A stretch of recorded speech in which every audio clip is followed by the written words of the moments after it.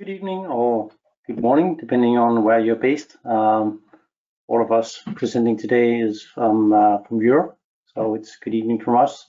Today we're going to show you uh, a presentation of our new product, Naviate Zero. The presenters will be Bettool. If you could tell a bit about yourself. Absolutely, thank you. Hello everyone and welcome to this webinar. My name is Bettool Jabur and I'm the Product Manager for Sustainability and Environmental Design at Symetri Technology. Over to you, Jan Tore. Thank you, Bettool. My name is Jan Tore Bugge. I'm the head of product when it comes to the Naviate portfolio, different platforms.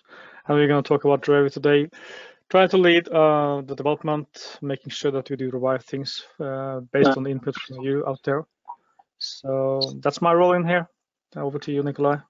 Thank you. And my name is Nicolai Karved. I'm just has been assigned to a new role as a lead technology analyst uh, within Symetri Tech. But for the past one year and a, and a half, I think, uh, I've been working with the Naviate Zero product and sustainability.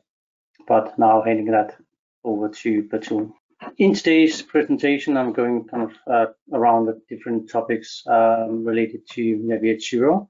And at the end, we will have a Q&A session. At Symetri, our core mission is crystal clear, it's decarbonization. And there's a good reason for our mission.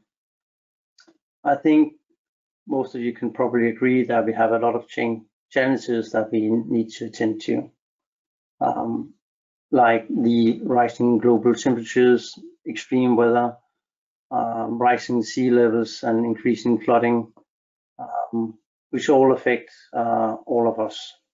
Let's zoom a bit into the construction industry, industry um, a sector which significantly uh, impact the environment. We contribute to greenhouse gas emissions, resource consumption, and waste generation on a global scale. We think it's essential to consider whole life carbon emissions and to act accordingly to address the 11% of embodied carbon emissions in new constructions. So in the next part, I'm going to talk a bit about how we think that we can help you to towards this net zero carbon neutral future.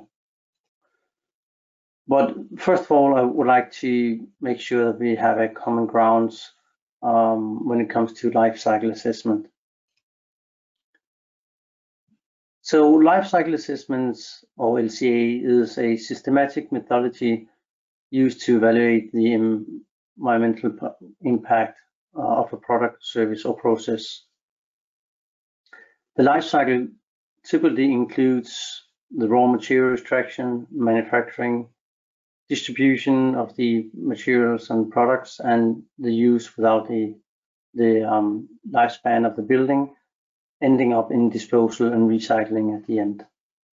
Usually these different stages are put into different more measurable areas.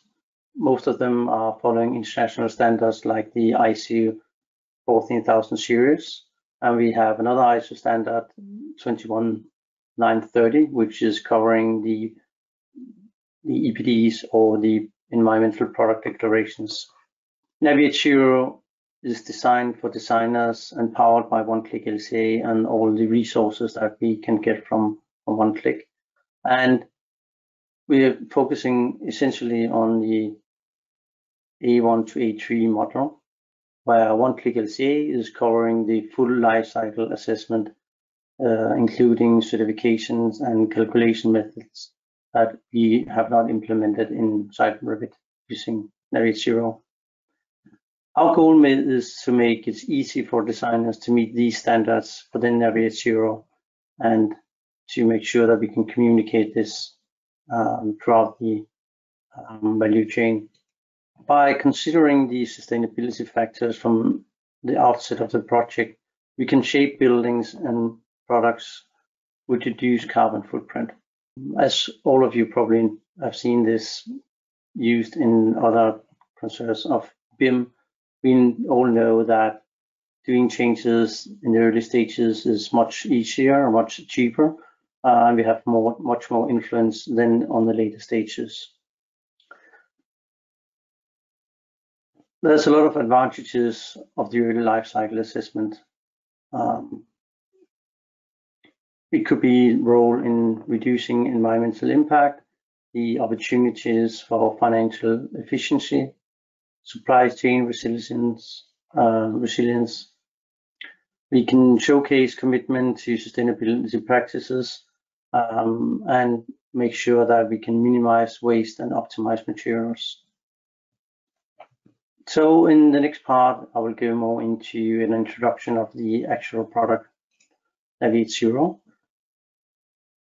First of all, I would like to mention the um, who's actually going to using this kind of tool. And for that, we have been focusing on the architectural design, interior design, and structural engineering. And MEP will be coming later on as well. Uh, this tool is designed to bridge the gap between those who design in Revit and the sustainability experts conducting the life cycle assessments. Some of the reasons for choosing a software like Naviate Zero is to make much more um, sustainable material selections within the Revit models.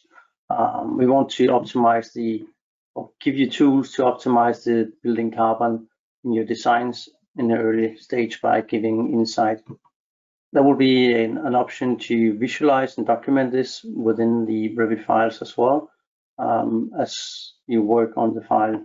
And last but not least, we want to make sure that this can be seamlessly communicated uh, in the design intent within the Revit file and also to other stakeholders using Revit files or working in one-click LCA. So some of the main features and benefits. First thing is the project location that you need to start uh, adding. And this is to make sure that you have accurate uh, and context and region regional data incorporated in your files. Within here, you can also streamline the design process by defining which Revit categories to work with. So in that sense, you can narrow down the uh, focus of the model.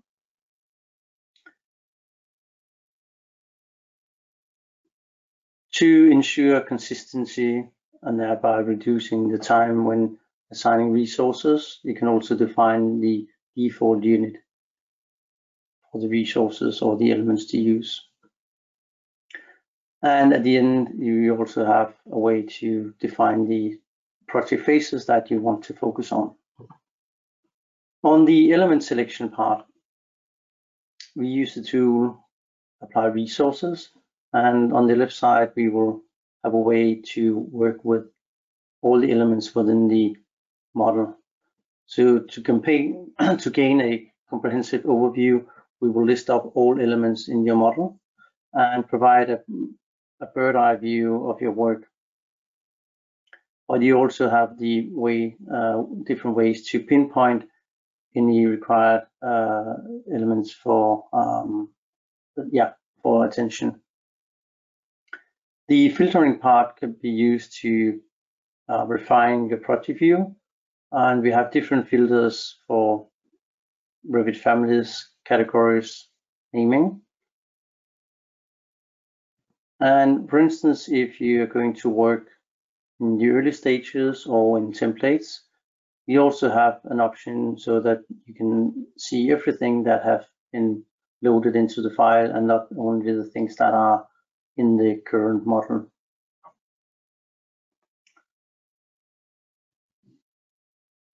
You can also scope out the different elements, uh, making your work more efficient. Um, if you want to look at what data, uh, which elements are missing data.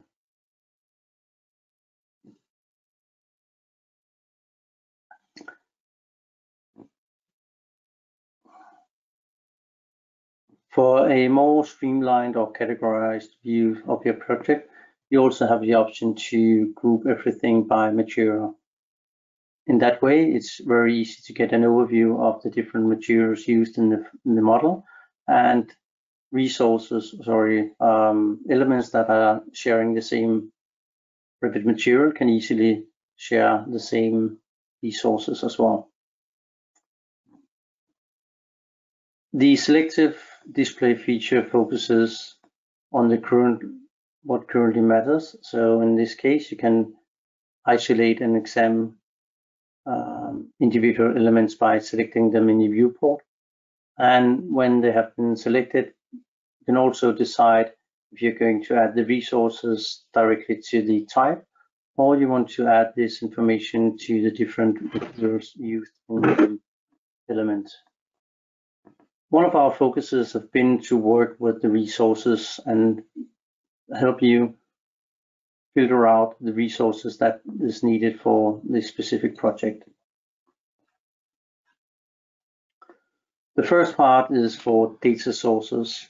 Um, since we have a lot of resources available through one-click LCA, uh, it's very important to know what you want to work with. Um, this can be from different local standards. It could be from um, the EPD providers throughout the world, and you can select multiple of, of these to narrow down your filtering. You can also select a specific area for the filtering. So in this case, we could select a couple of Nordic countries to make sure that the resources are from within that area. All resources are divided into different resource categories. Those can be searched in, you can filter them. Um, and we also have an automatic mapping between Revit categories and these resource categories. Again, to make it easier to uh, filter out the uh, resources needed. Resources are divided into different types, which is the manufacturing and the plant ones and generic ones. There's also a grouping of the resources into the um, how they are ranking related to the embodied CO2. And you can also do a further filtering based on the area, uh, sorry, the uh, units, or you can do it by the name when you have found a resource, you can always look at the details and get some more information. And then when you found the right one, you can add it to the element in the file. You can also use the resource ID from the uh, EPD provider. So if you have probably have downloaded the uh, resource uh, EPD from the manufacturer, you can use that ID to identify it. And as you can see here, we can apply the resources to multiple elements at the same time. And if the resource doesn't support the unit that is selected, we will show that in the interface as well. If you copy the resource from one element to another, we will make sure that it's using the same um, unit as the one that it is copied from. One of the most important thing for us to make sure is that it's very easy for you to compare the different resources. So first of all, we, uh, in this case, I'm just going to, to filter out a few elements. Um, I know which category I want to work with. Um, and in this case, I'm looking for some red bricks so when I do an easy search on this, it will narrow down the, um, the amount of resources available. And of course, I could use the details to view all of these information and try to compare those. But we have also implemented a actual compare functionality where you can select between one and sorry between two and five resources and trigger the com compare dialog box. The compare tool will list the resources from left to right with the one with the lowest embodied carbon on your left. Um, And we're trying to do this based on the embodied carbon on the um, yeah on the different uh, units that are selected. You can also define which properties you would like to look at and have a more focused on ones. From the within this dialog, you can also pin resources that you would like to have on top of the list for future use, and you can of course apply it to the element that have been selected. When you have selected all the elements um, and the resources uh, that you want to look to, into, you can do a calculation of the embodied carbon uh, on those. The first thing that you will see is a uh, visual highlighting. Um, we will have a list of Revit categories, which is the most um, yeah, with the, the largest um, confirmation of um, embodied carbon. And by selecting either in the pie chart or the list itself, objects will be highlighted in the model. You can also do this by resource categories. So that will be the categories that the resources are divided into to get another kind of view on which kind of materials are actually the most contributing ones. Um, with the detail view, you will see the uh, more detailed calculation, and you can also get access to the uh, details on the individual resources that are selected and used in the calculation. And the same works for the Revit categories as well. Besides having this calculation, we're also adding a schedule to the Revit file. The schedule is using regular Revit parameters. And within here, you will have a view of all the types that are used in the calculation.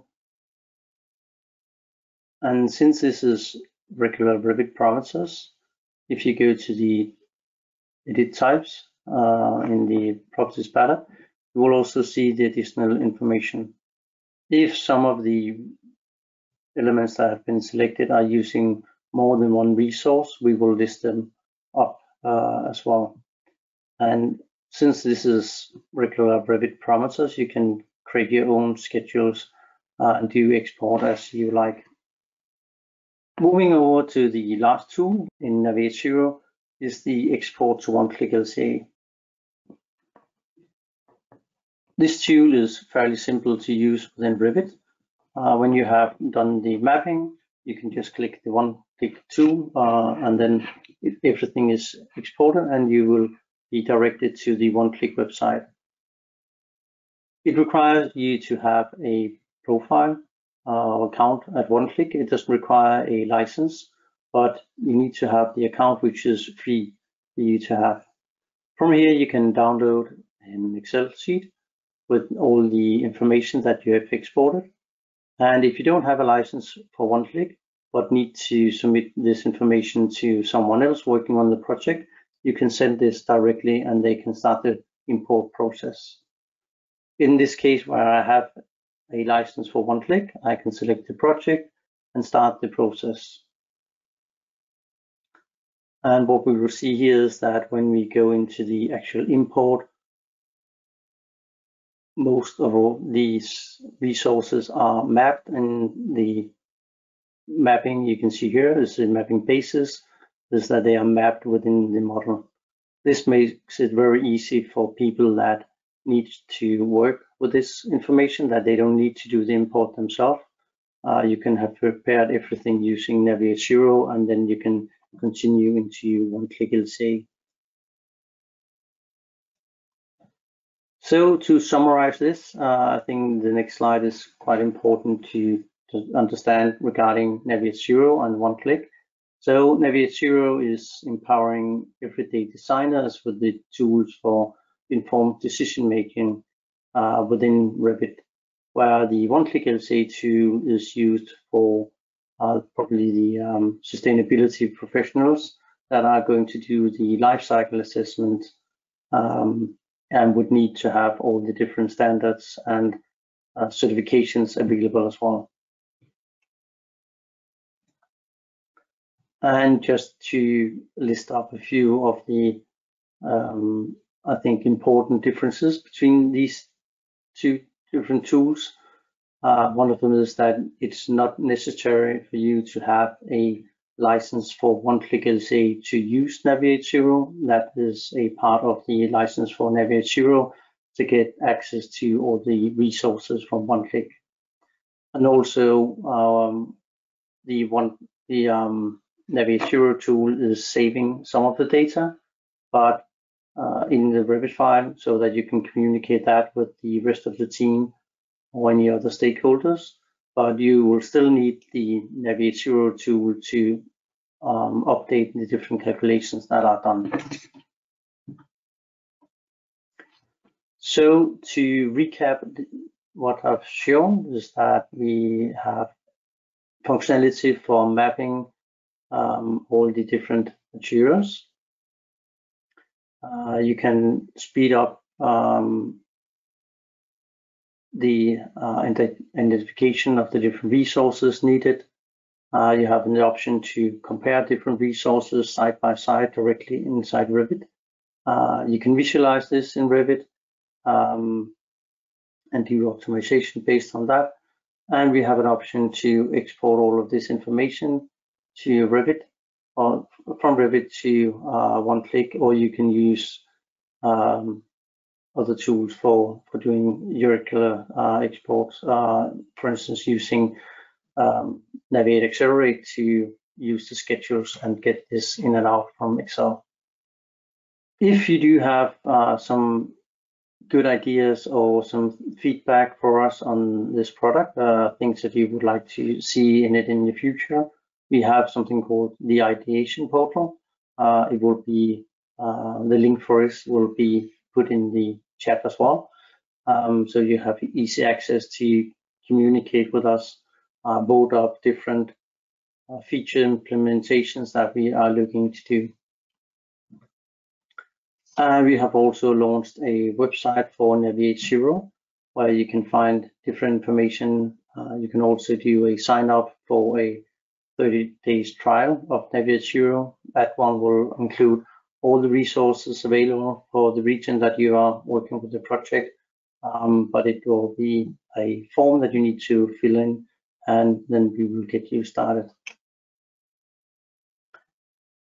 And just to make sure that everybody knows that we have a lot of different industry drivers, but the most important one is you, because you're the people that are working with, within the design and have the opportunities to um, actually change uh, in the early stages. And with that, I think we are ready for some questions if we do have any.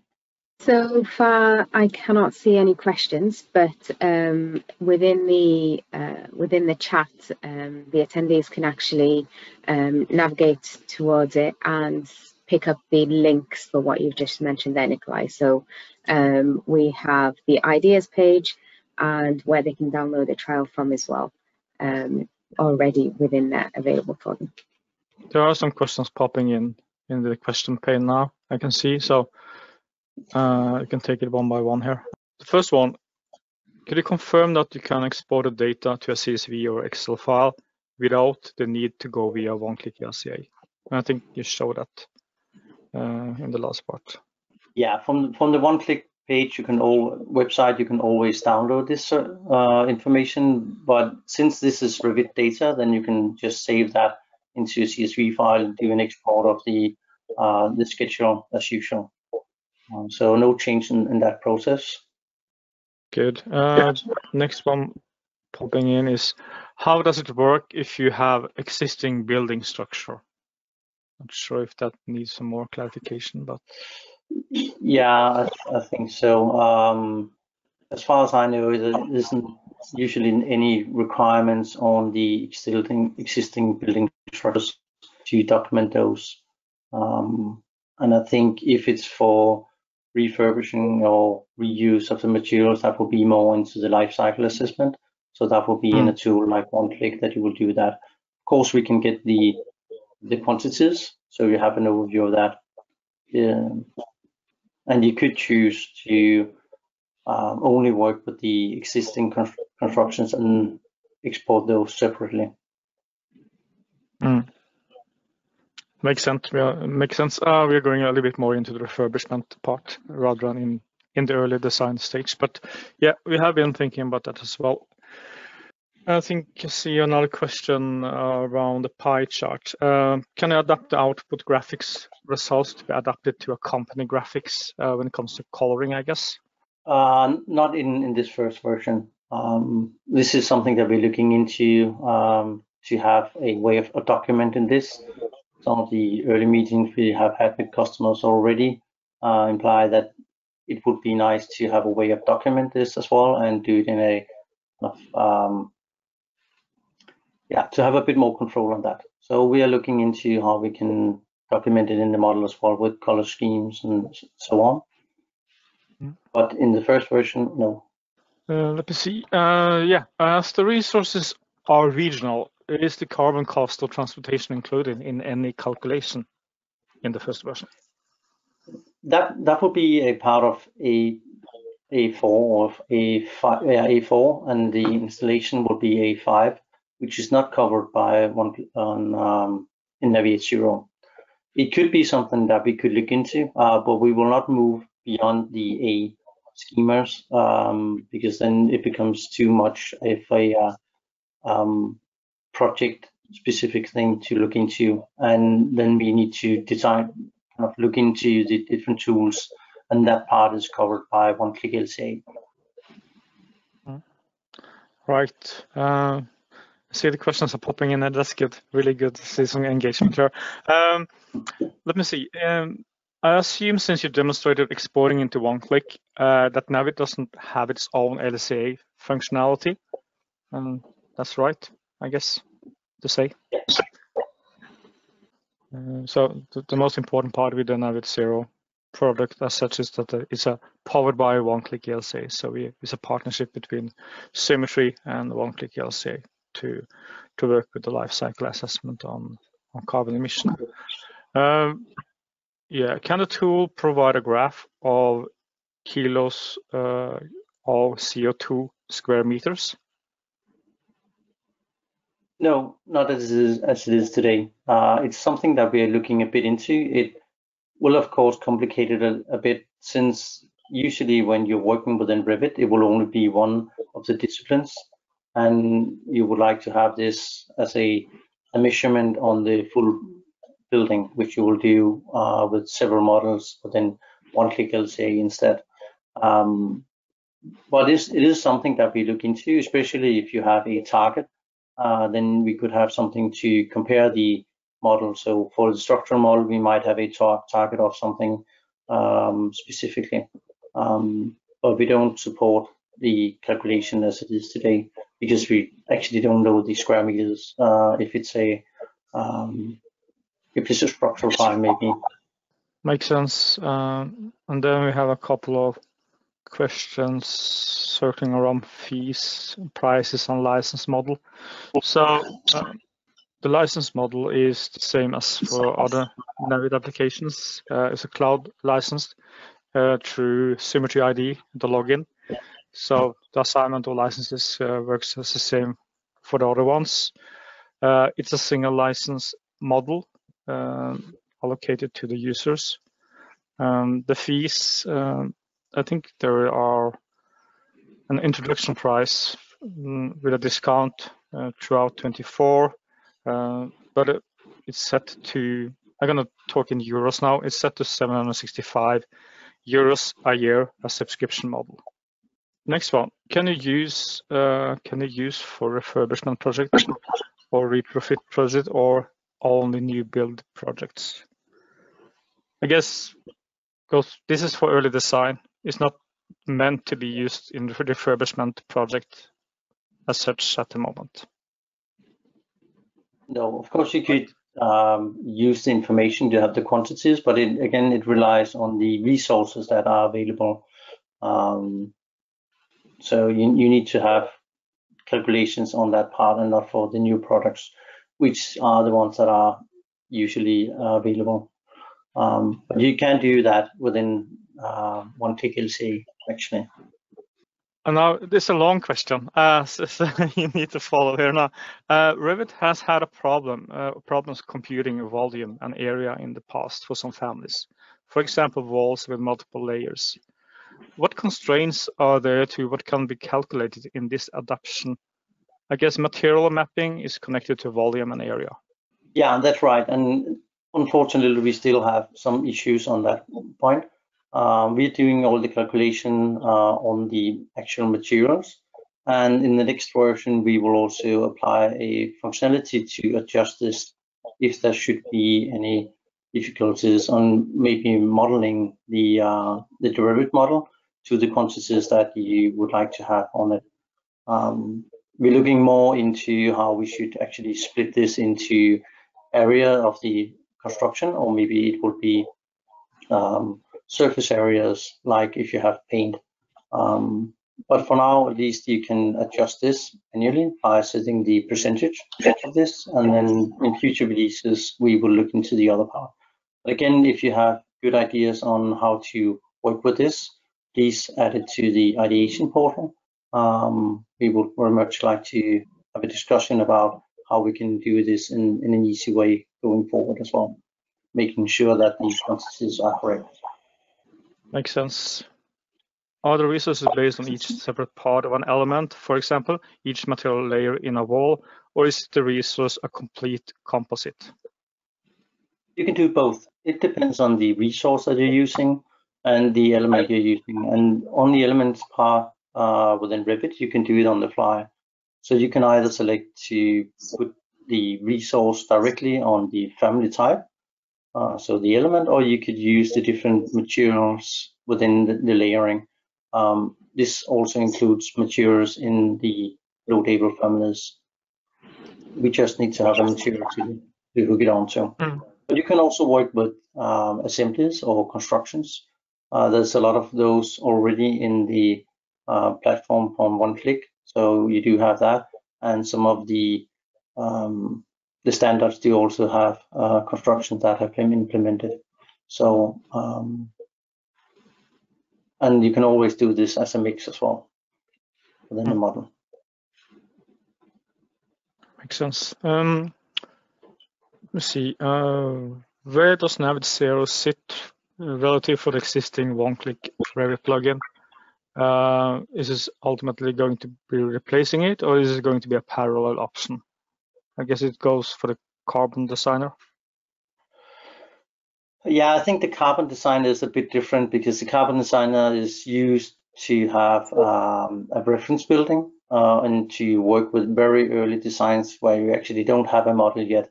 Um, and we're not going to, um, uh, it will not be instead of doing this. Uh, of course, you could work with masters within the Revit file as well to, to to do a bit the same.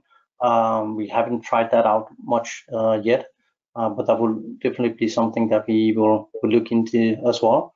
Um, but it will be um, together with one click LCA uh, that kind of all, yeah, we will do this um, because the rest of the lifecycle assessment is not going to be a part of zero. Um, so we, we do the early stages and um, having a tool for the designers to make it uh, kind of the selection a bit easier so that you don't need to be an expert on on uh, doing um, the full life cycle assessment and know what an EPD and all of that information um, to design it.